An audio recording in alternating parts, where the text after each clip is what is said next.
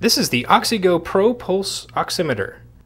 The Oxi-Go is a fast and easy way to measure blood oxygen saturation so you can avoid the onset of hypoxia before it occurs.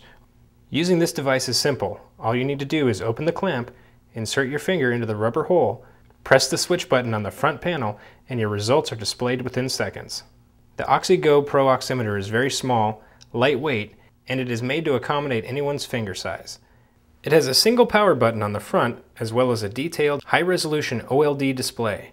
This display will show SpO2 or oxygen saturation level, pulse rate, pulse bar, and plethysmogram. It has six different display modes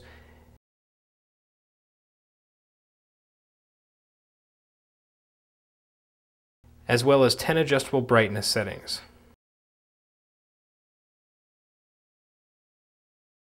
It is powered by two AAA batteries, which last for about 30 hours of operation.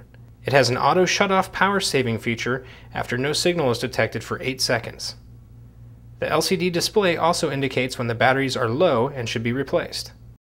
The Oxi-Go Pro ships with one set of batteries, a lanyard, and a detailed user's manual. It is covered by a two-year manufacturer's warranty. A protective carrying case can be purchased separately.